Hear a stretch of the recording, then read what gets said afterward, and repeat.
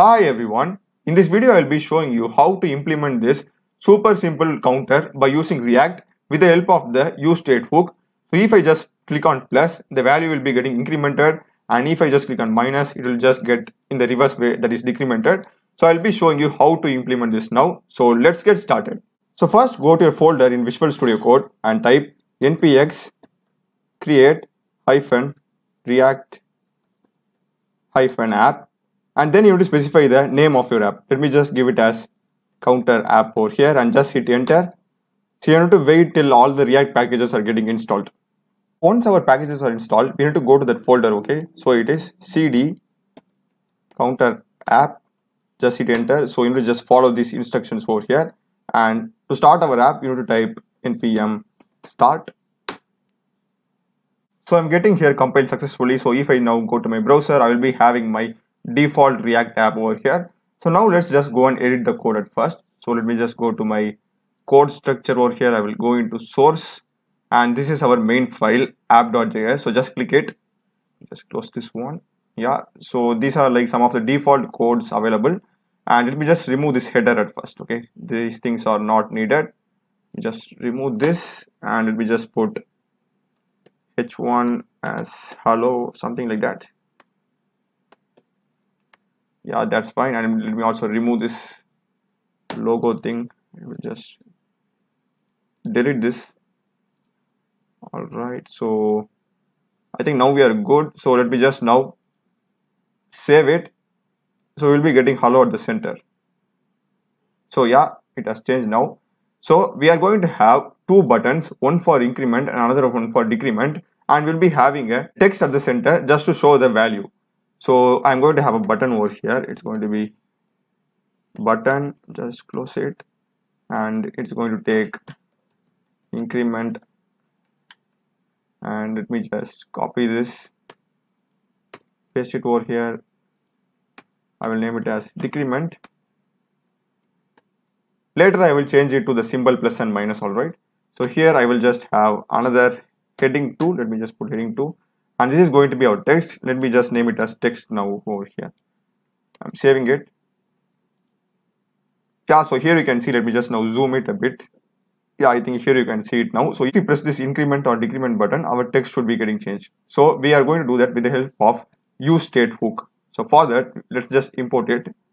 So it's import use state with a capital S all right? Be careful. From react within single quotes all right? So now we are done with importing our use state hook and let's just assign it to our text variable. So just come here and type use capital S state and here you'll be having this use state snippet coming here automatically like IntelliSense so just click it and in case if you aren't getting this what you are doing is you need to go to extensions and you are just downloading this two extensions all right? Simple react snippets and you need to also download this es7 plus react redux okay? Just install both these snippets. You will be getting this autocomplete or IntelliSense. okay? Which makes our coding much more easier all right so let me just come to my code again. And here you need to set the default value okay? So i will just set my default value as zero because at first when we load our web app this text over here is going to be zero. So then only based upon our increment or decrement, it's going to change 1, 2, 3 or minus 1 value. That's the thing. At first, initially, it should be 0. So that's our default value. And let me just name it as text. You can name anything you want. I will just name it as text. I will name this as set text. All right. So instead of our text over here, we are hard coding the value. So now we need to make use of this variable text that we have used in our use state. So just come down over here, remove this hard coded text and open curly bracket and inside that just put your use state variable name. So in my case it is text. So now i am saving it. So this time we will be getting zero in the output. The reason is because the text value at first is zero. So here you can see i'm having a zero but if i press this nothing happens okay? So now let us define the functions to perform this increment and decrement operation. So it's decrement yeah. So now what we're doing is we will have two functions, one to increment and another one to decrement. So let me just come over here. Let me have it as const increment value. This is like a normal function, all right. I am just giving it in a form of arrow function. So this will be equal to our set text okay we are using this set text value within bracket our text plus 1 because we are going to increment the value so let me just explain it to you i am just using this set text from our use state and i am extracting this text variable value over here and then i am incrementing it by 1 so this value over here will be then given to our text. So that's going to be the new state or the new value of our text. So this is for incrementing and decrement is going to be the exact same thing. Let me just now copy this and paste it over here and instead of increment val I will name it as decrement value and we're just going to put minus 1 here. I hope that made sense. We are just setting the text value. Once we have set that value that value will be then this value will be then given to our text so that's a new value of our text. So now let me just have these two functions as an on click to our buttons. So I'll just go here and type on click with a capital C. And inside that you have to just name your functions. So for increment it is inc val. So let me just copy this exact thing and paste it. I will just name it as decrement. Alright so this name should be coming over here and be careful with this arrow functions. So I'm just saving it now. So if I just press increment here you can see the value is getting incremented and if I just press decrement the value is decreasing and it will go on forever in minus side as well. So if I just refresh it it will become 0 because we have set 0 as our default value or the initial value alright? So now we are good with the functionality and let's suppose say that you want to like even optimize this code further because we are using two functions for the same purpose right? So what else we had? Only one function and uh, we use for both increment and decrement okay? So let me also show you that as well. If you are good with this you can follow this or you can also follow this optimized function okay? So i will just have one function over here. Let me just remove this. I will just have it as change val and i will have a value over here let me just change this as well so let me just have arrow function over here because i'm going to pass some values all right to this function so i will have change val and just copy the exact same thing and I will just paste it over here. So I will pass 1 every time we are going to click on increment and I will pass 0 every time we are I'm going to press decrement button. So what I will do here is that I will have a value over here. So let me just have it as OP something operation something like that you can have whatever you want. So this OP will be basically equal to 1 or 0 depending upon the button we click. So I will just have a if condition. So if OP equal equality 1 let me just have a block and else I will just copy this and I will just paste it here I will do decrement alright I hope this made sense because if you are passing 1 OP will be equal to 1 and OP if OP is equals 1 it will increment the operator because we are incrementing it. And if we press decrement button this we will be sending 0 as the value and op will be 0 so this won't be getting executed. Rather the else block will be getting executed and the text will be decremented by 1 so this the, that's the thing we are doing here. Same thing instead of like repeating two functions we can just do it with the help of a single function. That's the main ideology over here so if you want you can do with the previous way of having two functions separately. That, that's also good. So let me just save it to check whether it's working fine. So it's asking to give 3 equal to so let me also give that. Fine with that yeah. So if I press increment it's incrementing now and if I press decrement it's decrementing well. So same thing it's working fine. So now we are done with the functionality. So now we are just going to play around with css because css is also important as important as the functionality. So let me just go to my app.css the default uh, css file that we are having. And i think i am only using this particular class name app. So let me just remove all the stuff other than that. Yeah and remove till this. So first let me add some styling to my button. So let me just name it as button itself directly because I'm just having two buttons over here. If you want you can also have a class name over here and refer it. It's your choice.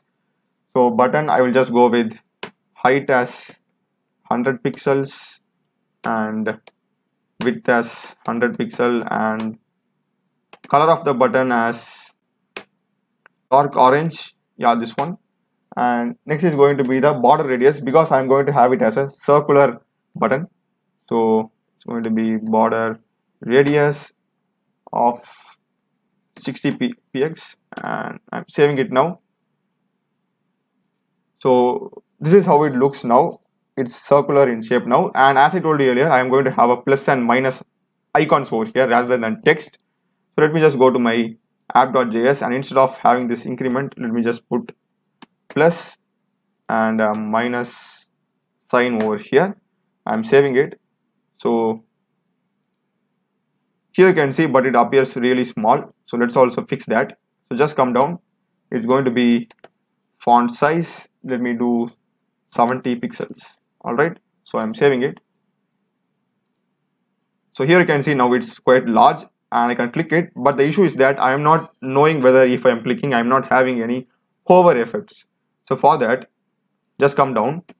Same thing your button or your class name of your button colon here you'll be having this hover okay? H-o-v-e-r and just open it. So here we'll be having two things. One is the color that our button needs to get changed when we just pass our mouse over it. And another one is our mouse pointer should change as a clickable form. So that's the two changes that we're going to do over here. So it's going to be background color. Let me just go with this pale something pale white or something.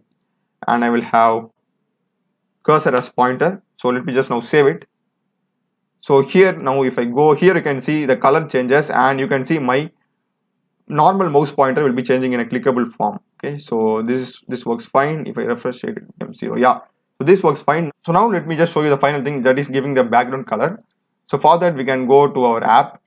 So you just come down. It's going to be background color. Let me give it as black. And if I save it now so yeah I'm getting this but I'm getting some extra space over here. So to avoid that you can just have min height as 100 VH so these are some of the standard stuff. Yeah so still I'm getting some space over here. So to avoid that what you need to do is you need to go to your index.css and you need to type at the top just move your body and put an asterisk over here and we are going to have margin as 0 and padding as 0 as well. Okay. So I'm saving it now.